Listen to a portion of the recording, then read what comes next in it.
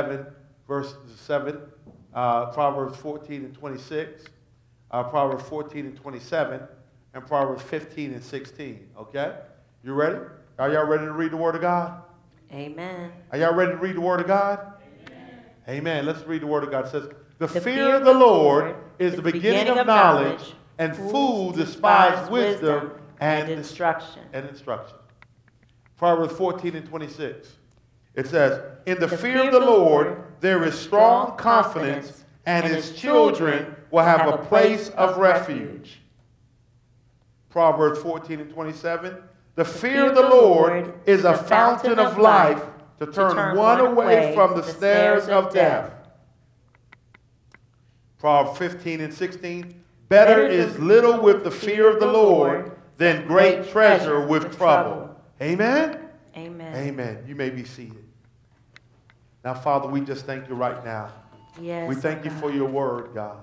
And that, God, that you're developing in us, God, the fear of the Lord. God, that, that not that we're walking around scared of God, yes, but we're walking Lord. around with a sense of respect, a sense of reverence, a sense of awe that you are God Almighty and you're God by yourself. Yes, that, Lord. God, we are nothing, but you are everything. That's and right. only in you can we live and breathe and have our being. Yes. So, God, we surrender ourselves right now. Holy Spirit, we welcome you.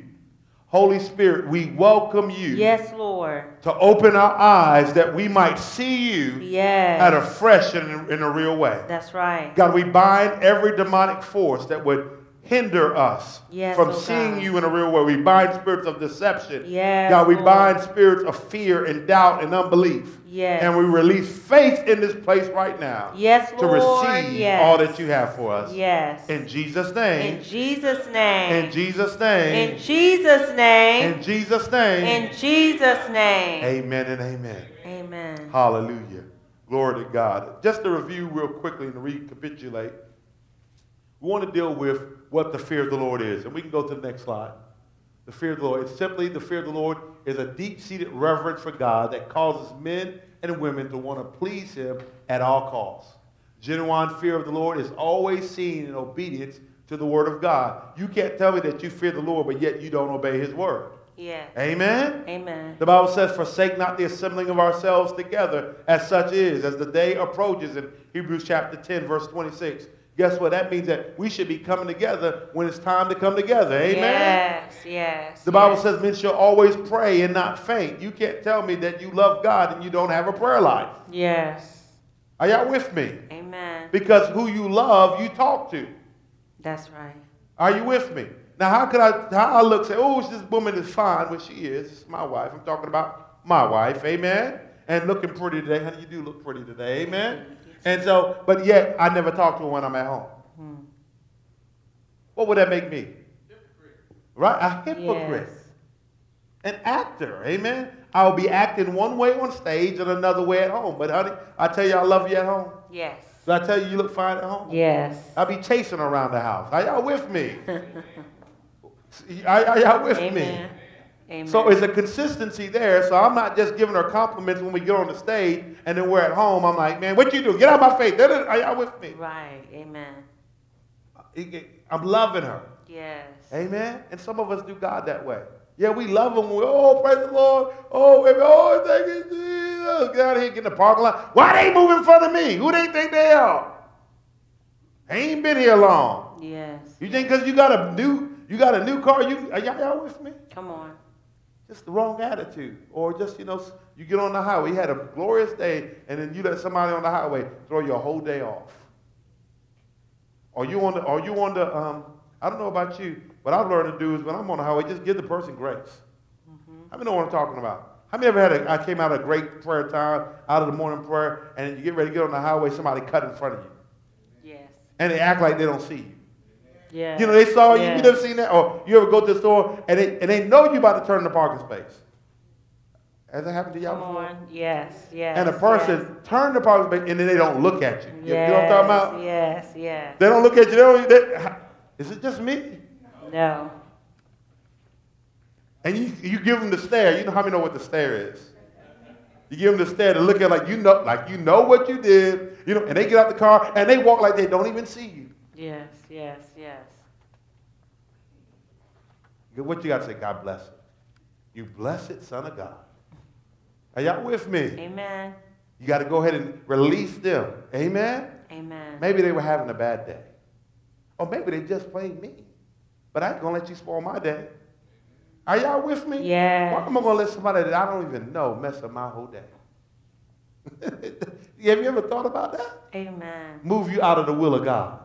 Amen. The genuine fear of the Lord is always seen in obedience to the word of God. Proverbs 8 and 13 says, The fear of the Lord is to hate evil, pride, and arrogancy, and the evil way, and the froward mouth do I hate. See, I believe when you have the fear of God, you don't let everything come out your mouth. Are you with me? Amen. Because you understand God is watching you.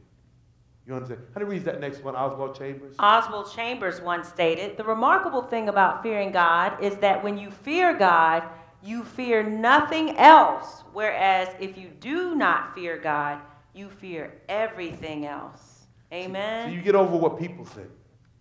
See, here's the thing. People that don't believe that I'm shy at times. They, I tell them I'm a shy person. They don't believe that, but they don't understand that when the Spirit of God came on me, I had to move out of myself. Yes. In myself, I don't like public speaking. But in God, I'm called to speak publicly. Yes. Yes. Are y'all with Come me? on. And, and, and God, I'm called to say what thus saith the Lord. And so I'm one of those people that will be sitting down and be like, why don't somebody say this? And the Holy Spirit says, why don't you say it? Yes. Are you with me? Yes. So I've learned to understand that my fear of people cannot be greater than my fear of a living God because I'm going to have to answer to him for what I did or did not do. Yes. Amen? Amen. And so that when I know that, when I understand that hell is real and heaven is real, and then I'm going to have to come before the white throne of judgment, and I'm going to see my whole life, and I'm going to have to answer to him for what I said and what I did and what I did not do, then I got to speak. Yes, yes, yes. I'm not scared of what you think because I'm looking at the Father. I'm focused on the Father. If you're more scared of what people think about you, then you're focusing on the wrong thing. Let me say that again. If you're scared, more scared of what people think about you, then you're focused on the wrong thing. You have something called the fear of people. yes. And we're talking yes. about the fear of the Lord. Yes. Are you with yes, me? That's yes. what I was talking about today when I was in the earlier session with the leadership team. Is this that I don't want my children? I see I, I see these reality shows with the different Christian reality shows that people are trying to come out now. And what bothers me the most is I hear the different preachers telling their kids, you know what? You can't do that in front of the church folk. You can't do that when you're around people in the church.